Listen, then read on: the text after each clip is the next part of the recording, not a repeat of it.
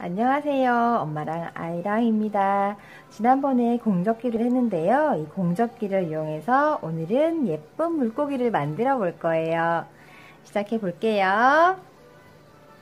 지난번하고 접기는 똑같아요. 우리 이렇게 네모를 큰, 사각, 큰 삼각형으로 접어주세요. 큰 삼각형으로 접어주시고 또 똑같이 이렇게 큰 삼각형을 접어주세요. 이렇게 접어주세요. 요거 부분을 이렇게 잘 눌러주시면 삼각뿔 만들기가 되게 쉬워요. 이렇게 이렇게 눌러주시면 이렇게 금방 이렇게 삼각 기둥 삼각 뿔을 만들 수 있죠. 이렇게 세워도 넘어지지 않아요. 그렇죠?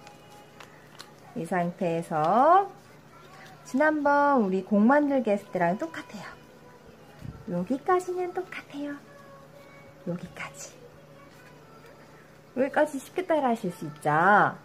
그리고 이 부분을 가운데 선을 중심으로 해서 이렇게 삼각형을 반으로 접어줄 거예요. 이렇게. 됐나요? 하나, 둘, 셋, 또. 이렇게 이 삼각형 부분을 이렇게 접어서 그랬더니 같은 크기의 삼각형이 또 3개가 나왔어요. 이 모양까지 다 됐나요? 이 모양 됐죠? 저번이랑 똑같이 여기를 보면 이렇게 주머니가 나와요. 요거 주머니 보이시죠? 여기 나풀나풀하는 부분은 어떻게 해요? 이 사이에 쏙 집어넣어 주세요.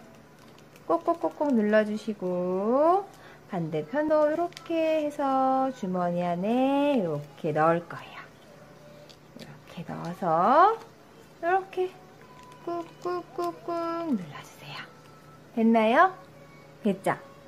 그러면 요거를 반으로 음, 요거를 뒤집을 거예요. 이 상태에서 뒤집으면 어, 또 하나의 삼각형이 나왔죠? 요거를 접기 편하게 접이선을 만들어 줄 거예요. 여기 펴보세요. 피고 반대편으로도 이렇게 한번 눌러주세요.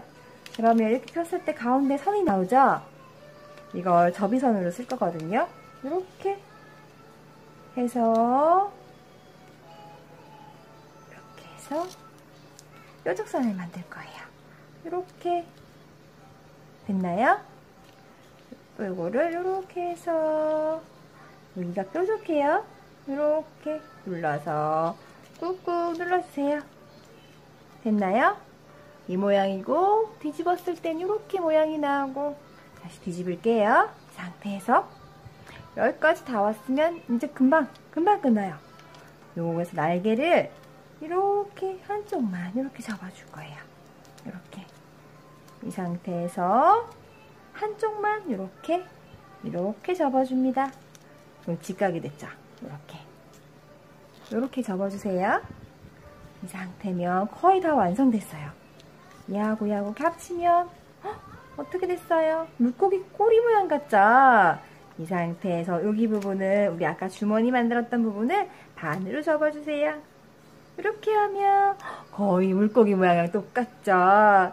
이 상태에서 음, 펜을 이용해서 이렇게 눈도 그려주고 입도 그려주고 그 다음에 나는 무서운 조스를 만들 거야.